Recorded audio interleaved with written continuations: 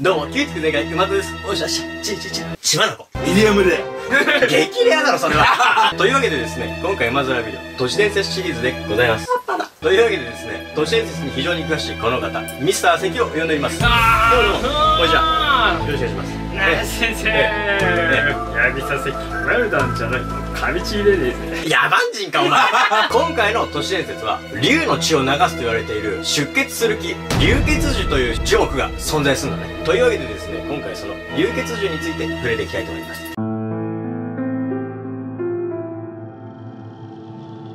インド洋の西端に浮かぶソコトラ島。ここには4万人ほどの人々が暮らす小さな島なんだけど、ここに流血樹という伝説の木が自生してるのね。このソコトラ島は年間を通してほとんど雨が降らない乾燥した気候であって、1年間の降水量は250ミリ程度しかないのよ。そんなソコトラ島に住む生物たちは過酷な自然環境を生き抜くべく独自の進化を遂げてるのね。その中でもひときわ目立つ植物がドラセナシナバリ、つまり流血樹と呼ばれる植物なの。カブトムシとか死んじゃいそうですよね。カラッカラだろ、お前。この流血樹は高さ10メーターから20メートルほどの大きな幹から大量の枝を伸ばしていて、剣状の葉をびっしりと張っているのが特徴的なのよ。666メートルじゃないんですか？悪魔の数字だろその流血樹の最大の特徴は幹から染み出す血液のような真っ赤な樹液それはまるで竜の血を流す樹木だという風に言われていて、だから流血樹という名前で呼ばれてるのね。献血しちゃえよ。木に切れんな、お前。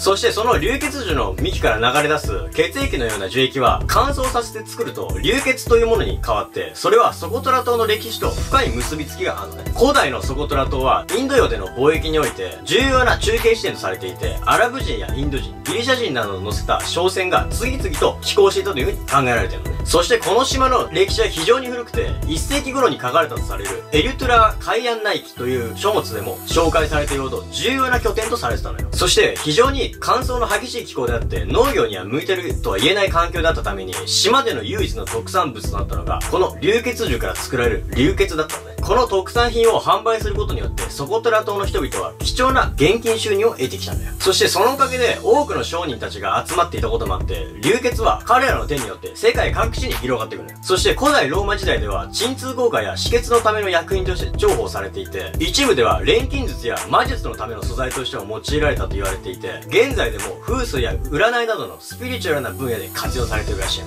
まあでも、これっていうのは、樹液なわけでしょ。ええ、カブトムシか。言っ？てな、お前そして、何十代にもわたって流血樹の恩恵を受けてきたソコトラ島のとある村には、掟とも言える言い伝えがあるらしいよね。それは、一度、流血を採取した木は、2年間は休ませなければならない。流血を採取するには、流血樹の幹を傷つける必要があって、多少なりともダメージを受けることになってしまうんだよ。賢者モード的な。言っちゃってんじゃねえかな。そして、大木に育った流血樹の中には、樹齢7000年とも推定される個体もいるほどで、つまり、一度枯れさせてしまうと、大量の流血がが取れる大きさに育つまでには、数百年以上かかってしまうのよ。貧血になっちゃうからね。面白いこと言うな つまり、ソコトラ島の人々は、その言い伝えを長い間守り続けてきて、共生関係を続けてきたんだけれども、2008年に、この島が世界遺産に登録されたのをきっかけに、多くの観光客が訪れるようになってしまったのね。その結果、唯一の特産品である流血が、かつてないほど人気となって、ソコトラ島は流血ブームによるバブル状態になってしまったの。そう、つまり流血を売れば儲かると聞きつけて、多くの人々が流血の採取をし始めてしまったのね。そして、供給に需要が追いつかずになってしまって、あまり儲からなくなってしまったんです。そして近年では流血樹が枯れるようになってきてしまって、それは地球温暖化の影響で海面の上昇が始まって、ソコトラ島でできていた霧が全くできなくなってしまったんです。つまり生き抜くために必要な水分が手に入らなくなってしまったんだよ。プルーンとかね、レバーとか